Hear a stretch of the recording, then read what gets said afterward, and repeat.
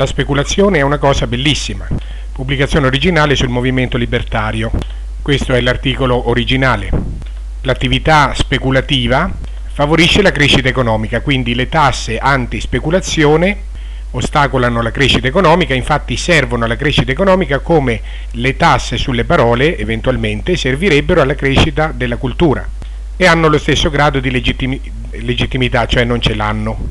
Vediamo che senso ha il paragone tra la speculazione e le parole. Sono due modi diversi per acquisire, usare, scambiare e trasmettere conoscenza e informazione. Una conoscenza individuale che è dispersa capillarmente e non può essere disponibile a nessuna mente direttrice. Questa conoscenza è infinitamente più abbondante della conoscenza di cui dispone il governo. È spesso conoscenza di tempo e luogo e quindi è di qualità migliore. Ostacolare la speculazione significa quindi ridurre drasticamente la quantità e la qualità di conoscenza in circolo e quindi è un atto di distruzione economica. Esattamente come impedire a un poeta di scrivere le sue poesie è un atto di distruzione culturale. In latino speculare vuol dire osservare attorno, esplorare, meditare attentamente, far progetti calcoli, anche tentare imprese commerciali. Come dice von Mises, ogni azione umana è sempre speculazione.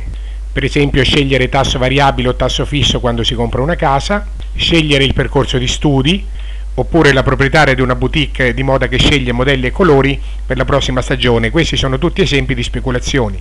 Ogni individuo è sempre un imprenditore e uno speculatore. In ogni caso anche i regimi totalitari non tassano tutte le speculazioni, ma soltanto un tipo particolare di speculazione, quella che fa leva sull'invidia delle persone, quindi è più facile da tassare e per fare cassa e per consentire allo Stato totalitario moderno di espandersi, che è quello che eh, sta nella sua natura. Tutti i totalitarismi, sia quelli vecchi che quelli nuovi, cioè le democrazie totalitarie, sono fondate non sulla coerenza ma sull'arbitrarietà.